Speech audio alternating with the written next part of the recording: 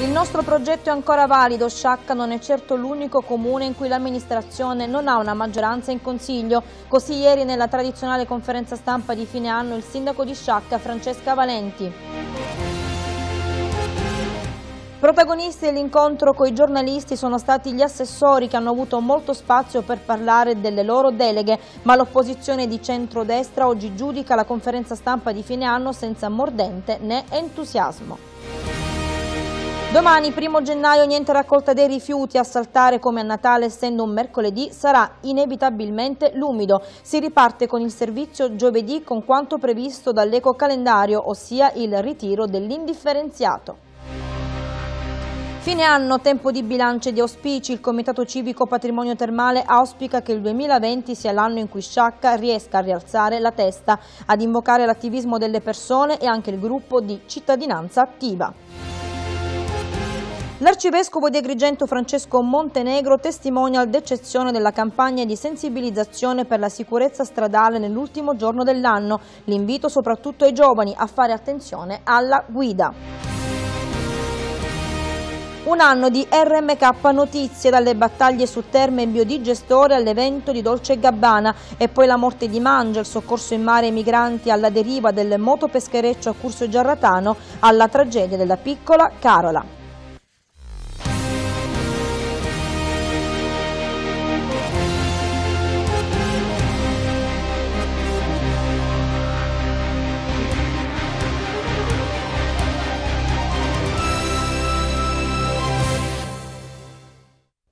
Cordiale saluto, ben trovati su Telemonte Cronio per il consueto appuntamento con l'informazione. Il progetto politico c'è ancora e lo portiamo avanti, così ieri al Comune nel corso della tradizionale conferenza stampa di fine anno il sindaco di Sciacca Francesca Valenti che dopo l'addio dei Cusumaniani non nasconde la realtà.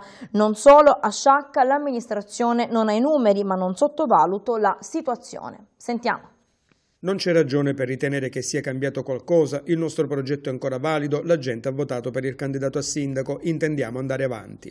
Ha ribadito un pensiero già espresso più volte di recente il sindaco Francesca Valenti nella sua conferenza stampa di fine anno, quella nel corso della quale il primo cittadino ha dato spazio ai suoi assessori riservandosi le conclusioni e le valutazioni politiche. Quel programma che è stato insieme, condiviso, che ha portato l'elettorato a scegliere questa amministrazione, questo sindaco, perché anche quello non è una banalità, ma alla fine nel nostro sistema elettorale si sceglie il sindaco, si vota il sindaco e questo è un bene devo dire dal punto di vista della democrazia, quel programma, quell'idea che è stata condivisa con la coalizione è l'idea che viene portata avanti tutti i giorni stabilmente, con gli aggiustamenti del caso che nascono dalle esigenze, dalle diverse prospettive che, che ovviamente si manifestano, ma non, è, non si è modificato nulla dell'idea che avevamo, che abbiamo della città, delle necessità della città, delle risposte che devono essere date alla città. Non è sfuggito ad inizio conferenza stampa il ringraziamento della Valenti nei confronti dei due ex assessori di Cusumano, ovvero Carmelo Brunetto e Calogero Segreto, i quali si sono dimessi anche se per ragioni diverse. Che hanno lavorato intensamente in questo anno, che non si sono risparmiati assolutamente in nessuna delle attività che hanno eh, contribuito a superare tantissimi ostacoli con grande spirito di dedizione e con grande abnegazione. Lavoriamo tanto ma non sappiamo comunicare le cose che facciamo, ha poi ammesso il primo cittadino, la quale a proposito del completamento della squadra assessoriale ha detto che questo sarà operato a breve. Il primo argomento all'ordine del giorno, quindi certamente è quello che occuperà e che ci occuperà immediatamente dopo il Capodanno, su quello non, non c'è dubbio. E poi che siano tecnici o che siano componenti politici, quello a mio avviso poco importa perché l'importante è che ci siano persone come quelle che ho sempre trovato nel mio cammino, persone pronte a spendersi per la città.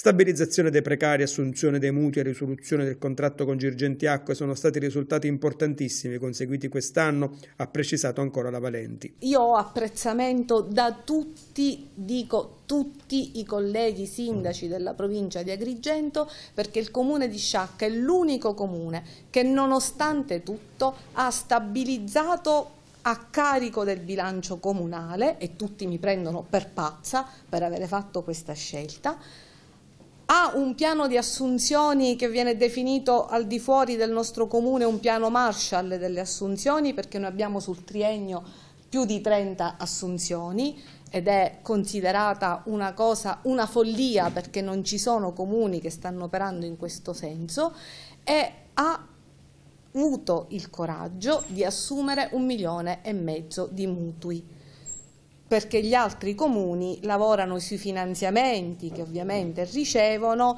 ma non sull'indebitamento andando ad accendere mutui. Sulla situazione politica e sulla mancanza di numeri in Consiglio, Francesca Valenti ha detto che non lancia alcuna sfida all'opposizione su una possibile mozione di sfiducia e che non sottovaluta la situazione. Cioè il fatto di non avere i famosi numeri in Consiglio comunale non è, quasi sta vivendo come una sorta di novità, ma non è una novità perché il passato della nostra città ha avuto delle situazioni de dello stesso genere, ma oggi più che mai siamo circondati da realtà che lo vivono, perché col nuovo meccanismo elettorale, con la riduzione del numero dei consiglieri comunali, è ancora più semplice perdere i numeri in consiglio. E se ci saranno delle proposte non condivise, non condivisibili, è evidente che i consiglieri che adesso sono di maggioranza legittimamente non le voteranno, ma se ci sono delle cose che riguardano la città, io non capisco perché mai i consiglieri non dovrebbero votare quelle proposte, N non lo capisco, perché potrebbe soltanto rispondere a una logica di mera contrapposizione, ma la mera contrapposizione non aiuta mai nessuno e ci sono tantissime realtà che lavorano in questo modo.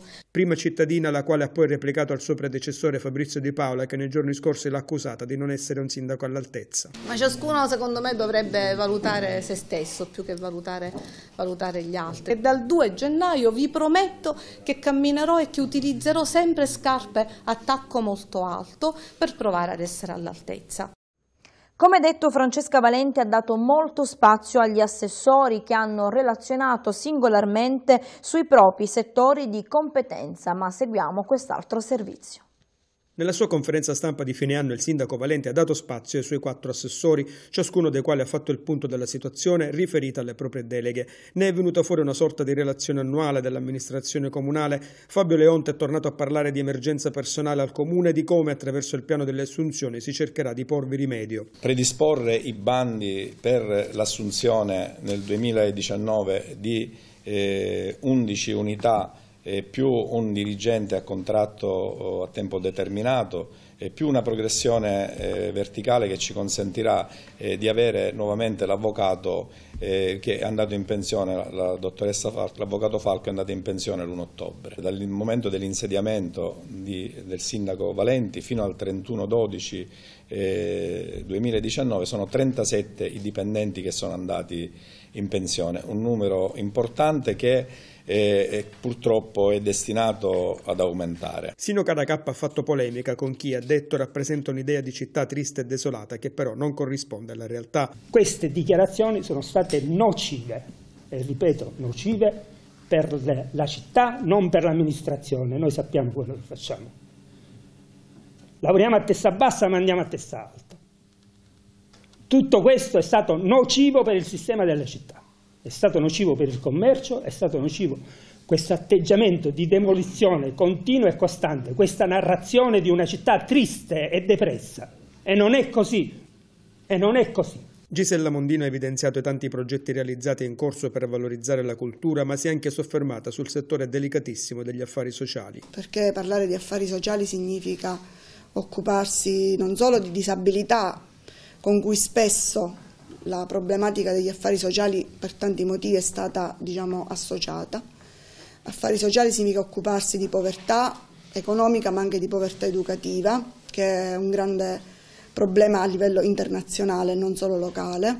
Affari sociali significa anziani, significa persone in difficoltà, significa PON inclusione.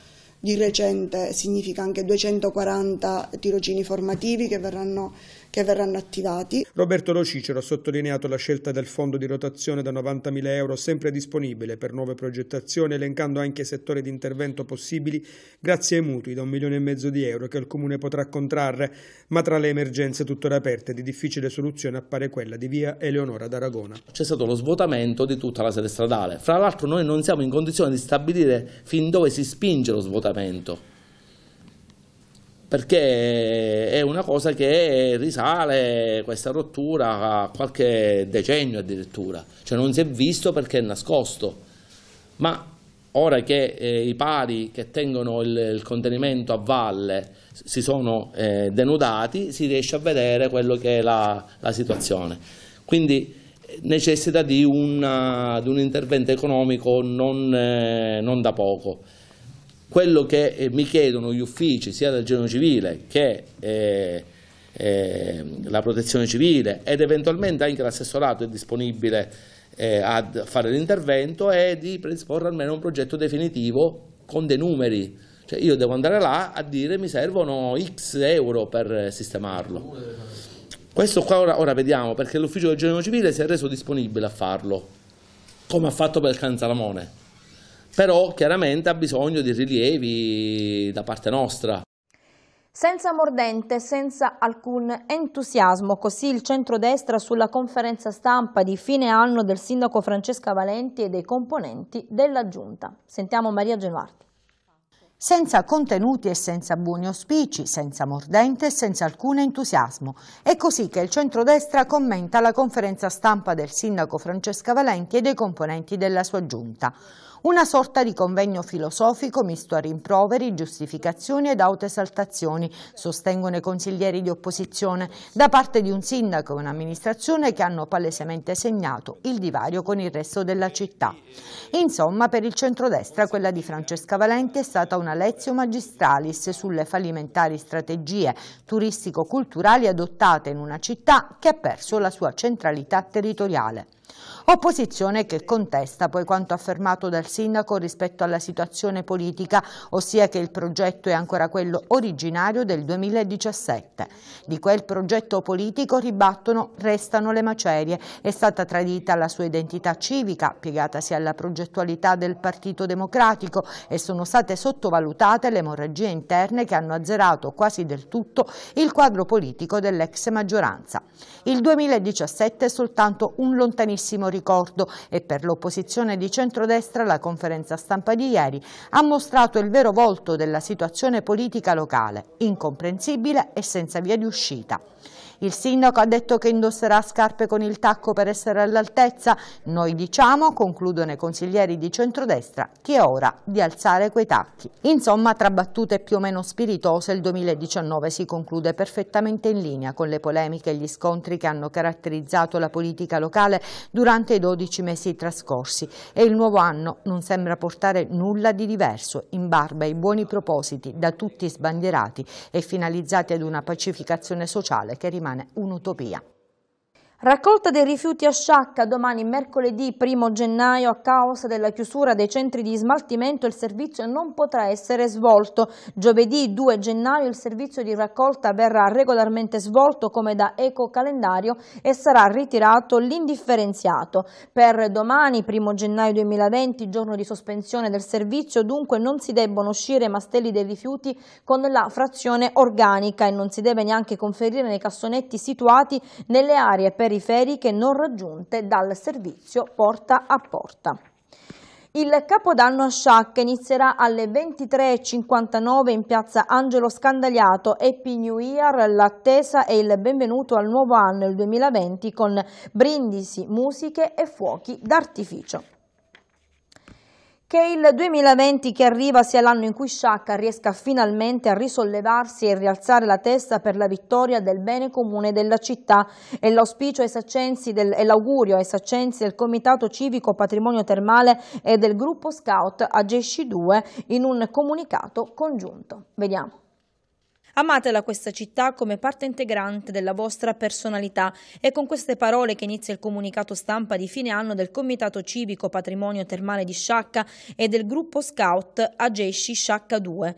Siete piantati in essa e in essa saranno piantate le generazioni future che qui avranno radice. Custodite nelle piazze, i giardini, le strade, le scuole. Fate che il volto di questa città sia sempre sereno e pulito. Così continuano dalle due realtà associative Franco Zammuto, Nino Porrello e Maria Teresa Figliomeni in un accorato appello ai cittadini saccensi per l'anno che verrà.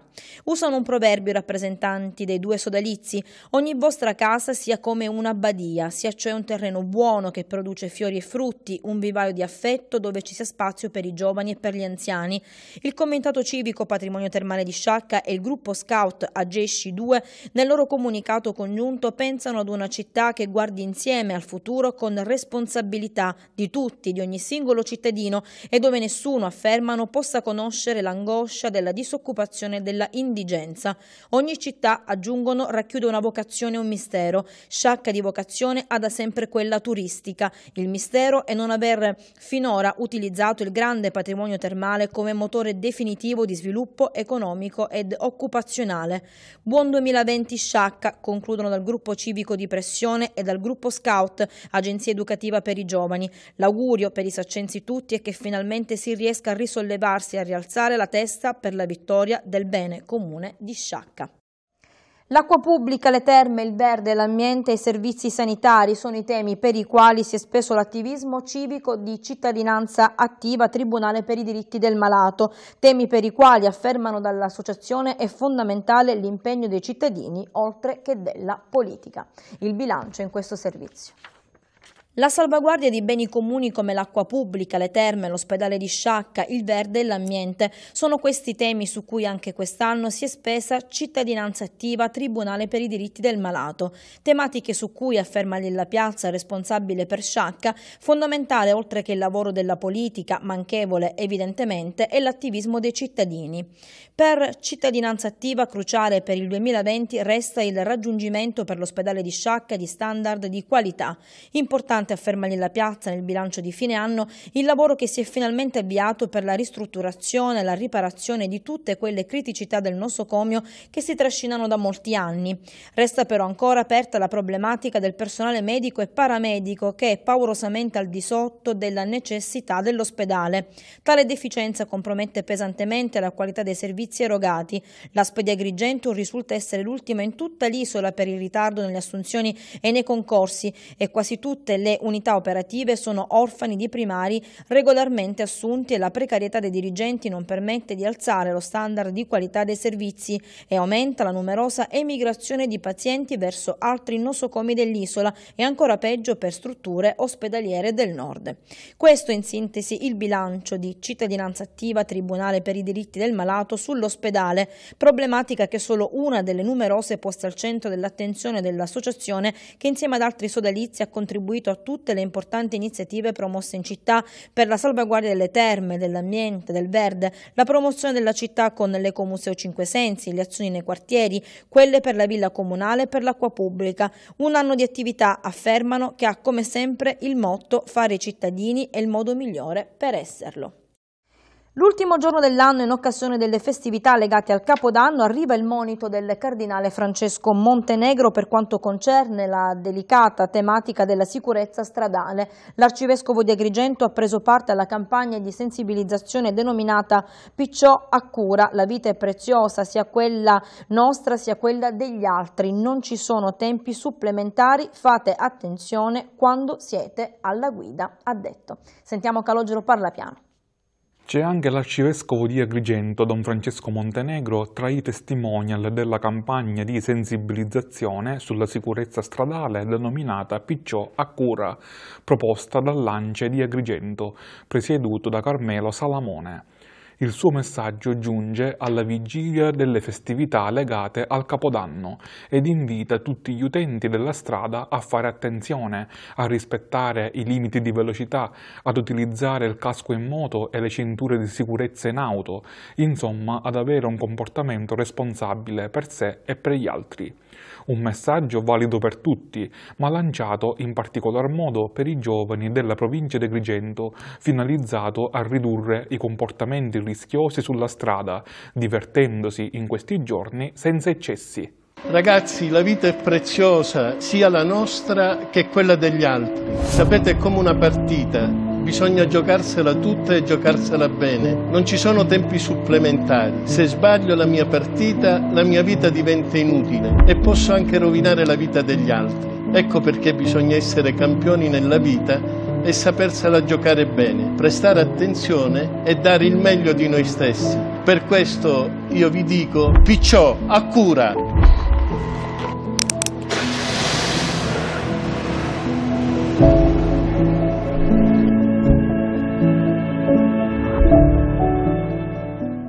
È conclusa l'operazione denominata Mercato Globale che ha impegnato la Guardia Costiera nel periodo delle festività con controlli finalizzati a garantire i consumatori. Sentiamo. Impegnato il personale della Capitaneria di Porto Empedocle e del Circomare di Sciacca l'operazione denominata Mercato Globale che ha portato ad una serie di controlli lungo l'intera filiera ittica al fine di garantire che sulle tavole dei consumatori non arrivino prodotti inidonei al consumo e pertanto potenzialmente pericolosi per la salute. L'attività è stata svolta sull'intero territorio di giurisdizione del circondario marittimo di Porto Empedocle e ha portato con l'impiego di uomini e mezzi all'effettuazione di decine di di controlli, al sequestro di circa 150 kg di prodotto ittico non tracciato in cattivo stato di conservazione, ad elevare tre denunce e cinque sanzioni amministrative per un importo pari a 9.000 euro. Gli accertamenti sulla filiera ittica, oltre che in mare, sono stati condotti presso la grande distribuzione, come pure sui piccoli esercizi commerciali, ristoranti e pescherie. Gli obiettivi perseguiti sono stati quelli di verificare la correttezza delle attività commerciali che operano all'ingrosso al dettaglio dettaglio, al fine di tutelare il prodotto ittico nazionale, made in Italy, tutelare il consumatore finale verificando che il prodotto ittico sia conforme ai requisiti di legge per quanto attiene la tracciabilità e l'etichettatura, in contrasto al fenomeno della contraffazione delle etichette, garantire l'osservanza delle leggi sulla pesca nell'intento di favorire un'attività di cattura ecosostenibile nel rispetto degli stock ittici e dell'ecosistema marino e costiero. L'operazione rientra nelle vaste attività di controllo effettuate dalla Capitaneria di Porto Empedocle finalizzata ad effettuare capillari controlli per quanto concerne l'attività della filiera della pesca, nonché il controllo di tutte quelle attività illecite che possono verificarsi sia all'interno delle aree portuali sia lungo tutto il litorale di giurisdizione. Il comune di Sciacca donato, ha destinato il proprio 5 per 1000 dell'IRPEF alla parrocchia di San Michele Arcangelo per sostenere l'ospitalità dei senza tetto e per l'attività della mensa della solidarietà. La giunta comunale ha deliberato un contributo di 2700 euro. Si tratta di un importo che il comune di Sciacca ha avuto assegnato nell'ambito del 5 per 1000 dell'IRPEF relativo all'anno di imposta 2018, anno finanziario 2019. Il comune di Sciacca risulta negli elenchi dell'Agenzia delle entrate degli enti assegnatari delle somme disposte al Ministero dell'Interno, Direzione Centrale della Finanza Locale nell'anno 2019. L'amministrazione comunale ha ritenuto meritevole di accoglimento l'istanza presentata da Don Pasqualino Barone, parroco della chiesa di San Michele e responsabile della casa di accoglienza Loreto, dove trovano asilo mediamente sette persone accudite con spirito di solidarietà. E adesso vi proponiamo un servizio riepilogativo dei fatti più significativi dell'anno che si conclude stasera, servizio a cura di Calogero Parlapiano e Massimo D'Antoni. Terme e biodigestore sono stati i temi su cui più di altri l'impegno civico sul territorio ha registrato una significativa intensità in questo 2019 su cui questa sera cala il sipario. Battaglie ancora aperte con sulle terme soprattutto il tentativo di imprimere una svolta nei confronti dell'atteggiamento attendista della regione proprietaria anche attraverso l'azione di due comitati, quello denominato Ora Basta e quello per la salvaguardia del patrimonio termale. Sull'investimento all'Acronio nella ditta promotrice, la Moncada Energy, continua imperterrita a lavorare forte di documenti e autorizzazioni per i quali tuttavia l'opinione pubblica continua ad invocare chiarezza. Il 2019 è stato anche l'anno in cui, dopo le interdittive antimafia inflitte dal prefetto, è stato risolto il contratto tra ATI e Girgenti Acque, ora gestita da commissari prefettizi in attesa che l'ATI costruisca la nuova gestione. Politicamente l'anno su cui cala il sipario è stato complicatissimo per Francesca Valenti, paradossalmente tutto è iniziato quando è stata eletta nell'Assemblea nazionale del PD a sostegno della mozione di Maurizio Martina. A maggio Sino Caracappa è subentrato a Mario Tulone, mentre delle scorse settimane l'addio dei tre consiglieri di Nuccio Cusumano, insoddisfatto della composizione assessoriale. Intanto alle elezioni europee Sciacca la Lega Salvini Premier ha sbancato il campo, anche se il primo partito è rimasto ancora il Movimento 5 Stelle. Anche a Sciacca è nata una sezione locale di Friday for Future, l'organizzazione ambientalista che fa riferimento a Greta Thunberg. Ha visto alla luce anche il progetto Sciacca 5 Sensi, che vede uniti commercianti e operatori culturali per una promozione turistica la più qualificata possibile del territorio e delle sue bellezze. È stato inoltre l'anno delle case ad un euro a Sambuca di Sicilia, della protesta dei pastori per il prezzo risibile riconosciuto sul loro latte, della morte nell'incidente aereo in Africa dell'assessore regionale bene culturale Sebastiano Tusa, del crollo di via Eleonora d'Aragona, strada ancora chiusa, del via reddito di cittadinanza, della protesta della marineria per la norma che impedisce la pesca a strascico in alcune zone del canale di Sicilia, dei problemi nel servizio rifiuti per colpa dell'inadeguatezza degli impianti. Non sono mancati gli sbarchi fantasma anche da queste parti, mentre la città città si è rifatta il look in occasione dell'evento di arte e moda promosso da Dolce Gabbana. Sempre successo, malgrado le immancabili polemiche per il carnavale, mentre l'Et Random Fest ha dovuto fronteggiare problemi di autorizzazione di pubblica sicurezza senza precedenti. È morto a ottobre Antonio Mangia, patron di Aeroviaggi e degli alberghi di Sciaccamare, mentre a fine anno sono stati stabilizzati i lavoratori precari grazie soprattutto al lascia passare ai punti finanziari garantito dall'opposizione, considerato che la maggioranza non aveva più i numeri. Operazione Passepartout, indagine della direzione distrettuale antimafia di Palermo nei confronti di quella che viene considerata la ricostituita famiglia mafiosa di Sciacca. Due facce della medaglia della sensibilità civile sul territorio sono state da una parte l'impegno profuso dell'equipaggio della Carlo Carlo Giarratano a favore di un gruppo di migranti alla deriva al largo di Malta e la decisione dei genitori di Carola Benedetta Catanzaro, una bambina di appena 9 anni morta per aneurisma cerebrale, di donare i suoi organi. Fine anno, tempo di bilanci anche per il genio civile di Agrigento. Tra gli obiettivi raggiunti anche la semplificazione delle procedure per venire incontro alle esigenze dei cittadini. Vediamo. Semplificare le procedure per venire incontro alle esigenze dei cittadini e promuovere il rilancio dell'edilizia è uno degli obiettivi evidenziati dal responsabile del Genio Civile di Agrigento, Rino Lamendola, nel corso della conferenza stampa di fine anno. In sintonia con il Dipartimento regionale tecnico, ha dichiarato Lamendola, abbiamo promosso un notevole processo di semplificazione, grazie al quale oggi i cittadini che devono costruire una veranda, una piccola tettoia o un muro di recinzione non devono più depositare alcun progetto e non devono acquisire nessuna autorizzazione. Basta una semplice comunicazione al genio civile. A questo, detto il responsabile della struttura, si aggiunga la proficua adozione di una piattaforma informatica su cui ormai le istanze, i progetti e le autorizzazioni viaggiano veloci, promuovendo il rilancio dell'edilizia, settore fondamentale per l'economia. Nel corso del 2019 è stato anche avviato un monitoraggio senza precedenti sullo stato di conservazione ed efficienza strutturale dei ponti ricadenti lungo le strade provinciali e finalizzato alla successiva messa in sicurezza delle infrastrutture. In particolare saranno presto ben 150 i ponti ispezionati da 19 liberi professionisti grazie alle procedure già avviate dal Genio Civile. In merito all'emergenza idrogeologica, il Genio Civile ha redatto ben 18 progetti di lavori per la pulizia dei torrenti, parte dei quali sono stati già eseguiti.